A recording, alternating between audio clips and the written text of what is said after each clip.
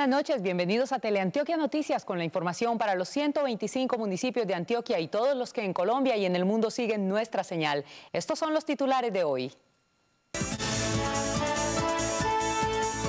150 policías judiciales y 7 fiscales reforzarán política criminal en el departamento de Antioquia. 350 soldados reforzarán vigilancia en la Comuna 13 ante amenazas de bandas criminales. En 59% se redujeron los homicidios en Medellín en el mes de enero, en comparación con 2011. Racha de accidentes de tránsito en las últimas horas en Medellín preocupa a las autoridades. Estudian medidas. Consejo de Itagüí sin servicio de teléfono. Administración pasada no pagó la cuenta. Con una línea telefónica trabajan los 17 concejales. Detrás del descalabro de la clínica Conquistadores hay un hombre que enfrenta decenas de denuncias por abuso laboral. Hoy segunda parte de la historia. 23 años después, víctimas de masacre en Segovia exigen justicia a propósito de juicio contra César Pérez. Hospital de Guarne vierte la sangre de sus procedimientos hospitalarios a una quebrada. Autoridades investigan. Insólito. Una mula dio a luz un burro. Expertos califican este suceso como un milagro. Polémico estudio de AFID propone igualar edad de jubilación de hombres y mujeres. Con esto las mujeres tendrían que trabajar ocho años más. El negrito Quintero llegó y está listo para debutar el domingo con el Medellín. El técnico de la selección Colombia Sub-20 analiza los futuros integrantes del combinado nacional. La mejor luchadora del país y medallista en Beijing 2008 por fuera de los Olímpicos de Londres 2012.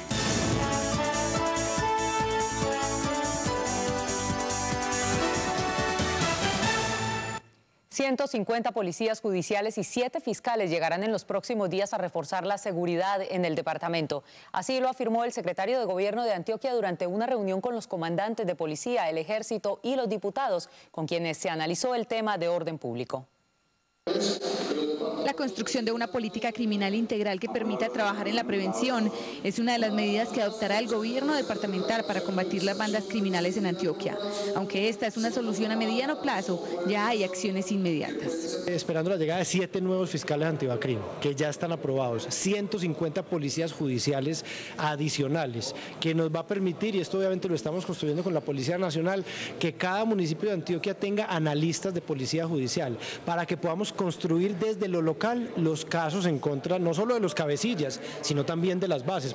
El aumento de recompensas, brindar una mayor protección a testigos y víctimas y además fortalecer la policía judicial son otras de las solicitudes hechas al gobierno nacional.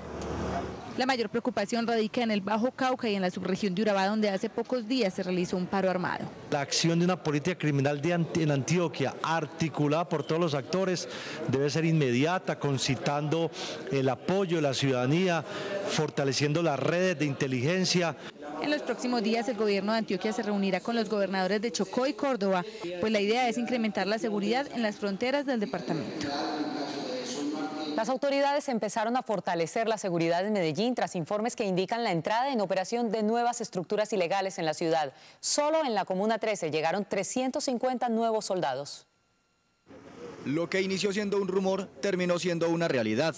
La banda delincuencial Los Gaitanistas delinquen en Medellín y ahora buscarían copar el territorio donde hasta hace poco delinquían alias Sebastián y alias Valenciano. Ante esto, la fuerza pública también fortalece su presencia en las zonas vulnerables. Son un total de 15 bases eh, con un número aproximado de 350 soldados, eh, que nuestra función principal es desarrollar operaciones de control territorial y cerrar los corredores de movilidad para evitar que esto suceda. Incluso hay quienes se atreven a decir que alias Mi Sangre, el cabecilla de los gaitanistas en Medellín, habría desplazado a varios cabecillas de combos delincuenciales. Rumores que las autoridades no confirman, pero tampoco descartan. Lo que sí está claro es que hay un interés de ellos por eh, penetrar las estructuras delincuenciales del, territorio y lo que estamos trabajando en conjunto con la unidad antibacrim de la Fiscalía, la Policía y el Ejército es intentando reducir esa incidencia que ellos puedan tener acá en la ciudad. El sábado pasado fue el propio general Oscar Naranjo, director de la Policía Nacional, quien dijo en Medellín que el legendario grupo delincuencial de la oficina estaría a punto de desaparecer y en su reemplazo nuevos fenómenos ilegales se estarían consolidando. De ahí que zonas como la Comuna 13 se hayan reforzado con 350 nuevos soldados, mientras que en otras zonas la policía hace lo mismo. Una notable reducción en el índice de homicidios registraron las autoridades en Medellín durante el primer mes del año. Según las cifras, en comparación con enero del año pasado, las muertes violentas disminuyeron en un 59% mientras que en enero de 2011 se registraron 165 asesinatos, en enero de 2012 van 67. Para las autoridades, estrategias como la prohibición al porte de armas de fuego, el refuerzo de seguridad en puntos críticos y el fortalecimiento de la confianza ciudadana han hecho que en la ciudad los asesinatos vayan en descenso. Esta situación también se ha reflejado en el Valle de Aburrá, pues este año van 89 asesinatos, mientras en 2011 fueron 216. Las autoridades están preocupadas por una racha de accidentes de tránsito en las últimas horas en Medellín. El exceso de velocidad y la impericia de algunos conductores son las principales causas. La escena no podía ser más trágica. Dos personas de una misma familia acababan de morir atropellados al tratar de adelantar a un bus y a una tractomula en plena autopista norte.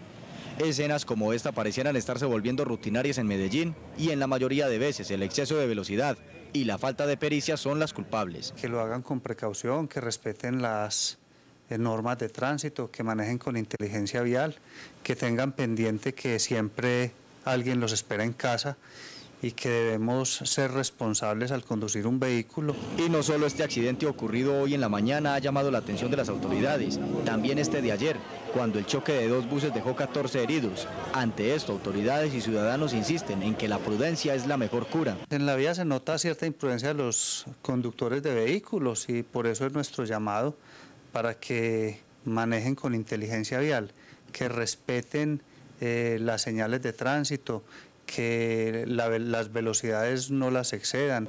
Con los dos muertos de esta mañana en el barrio Belalcázar, ya son 16 las personas que pierden la vida en las vías de Medellín en algún tipo de accidente de tránsito este año. Y aunque la cifra es menor que la del 2011, no deja de preocupar. Las autoridades judiciales de Medellín iniciaron una investigación para determinar en cuál casa del barrio Manrique realizaron un procedimiento estético a un joven de 26 años que hoy lo tiene al borde de la muerte. Casos como el de John William, el joven de 26 años que está al borde de la muerte por una mala cirugía estética, no es el primero que ocurre en Medellín. Cifras extraoficiales señalan que en la ciudad al menos una persona fallece al mes a causa de clínicas de garaje.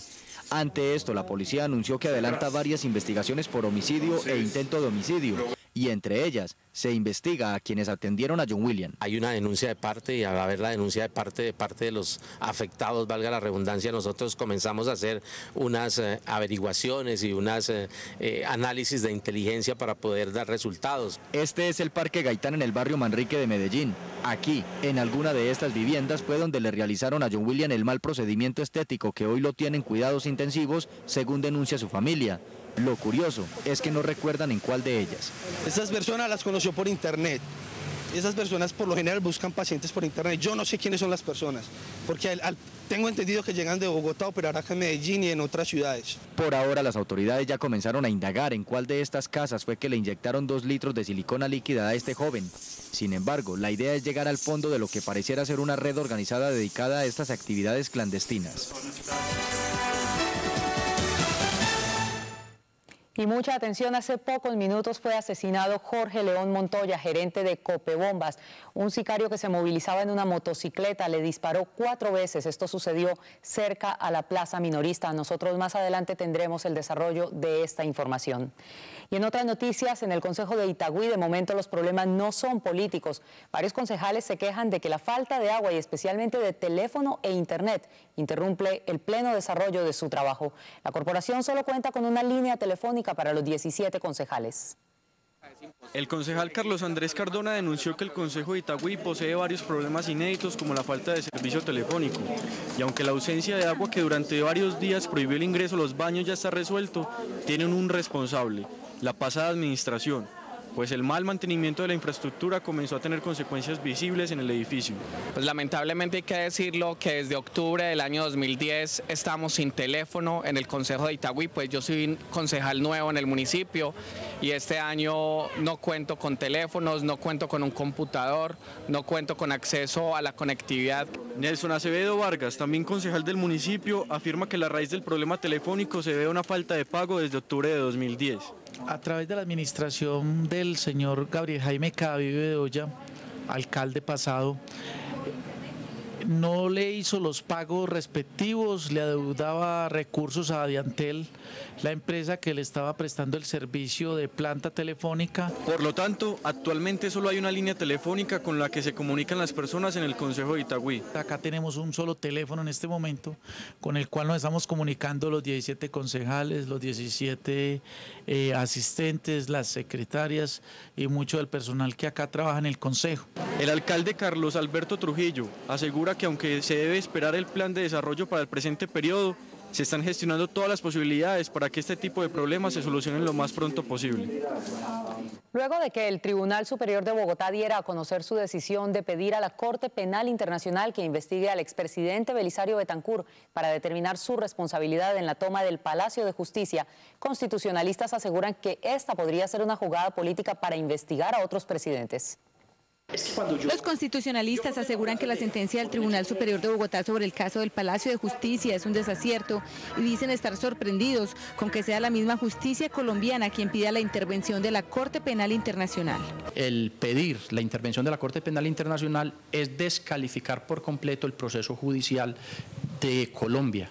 Eh, quien más pierde precisamente la justicia colombiana. Los expertos aseguran que tampoco es posible que el ejército colombiano pida perdón. Eh, esta parte no puede ser considerada porque estamos en el caso específico de un proceso particular, de una persona en particular, y esta decisión tendría un carácter sancionatorio, pero para las instituciones colombianas.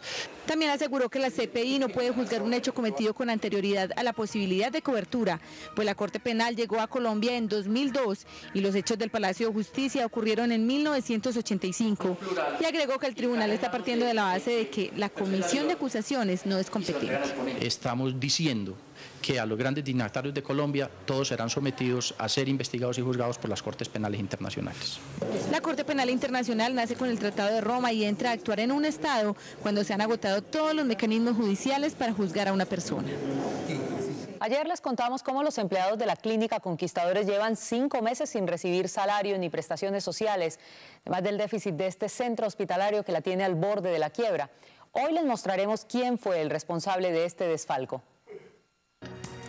Desde las 6 de la tarde de hoy, la Junta Directiva de la Clínica Conquistadores enfrenta la que quizás será recordada como la asamblea más difícil de los un poco más de 30 años de historia de esta empresa. Necesitan encontrar recursos para salvar el centro de salud. Los ex empleados insisten en que la culpa del descalabro financiero se sustenta en el antiguo gerente Diego Elías Medina Ocampo, a quien además le endilgan por lo menos una decena de denuncias ante el Ministerio de Trabajo por acoso laboral. Son bastantes denuncias muy preocupantes a una compañera la, digamos que la saboteó por ser ella, eh, eh, el señor pues le hizo ver pues que él es muy racista, muy clasicista, la gente debe estar eh, a tono con él, debe vestir como él lo indique. No sé pues este señor que ¿Qué espera de la gente? Me despidieron el señor Diego Elías Medina Ocampo. ¿Cuál fue la razón? No, sin causa justa. Él aludía que no le gustaba mi postura, que no le gustaba mi mirada. Aunque el presidente de la Junta Directiva no atiende los llamados de este medio para dar explicaciones sobre lo que ocurre en la clínica, dos de sus miembros reconocieron hoy que el ambiente es de tensión porque es cierta la cifra de déficit de 6 mil millones de pesos a la que hacía referencia nuestro informe de ayer. La Junta, según explicaron, anda buscando qué hacer con el pago a los empleados y ex empleados y obteniendo recursos para cancelar a proveedores tan fundamentales como los del oxígeno. Mientras encuentran la plata para salvar a la clínica, y enfrentar las denuncias que pesan sobre el antiguo administrador, los médicos que integran la Junta ordenaron una auditoría externa para determinar la responsabilidad del gerente y del contador que dejaron a esta organización en la quiebra.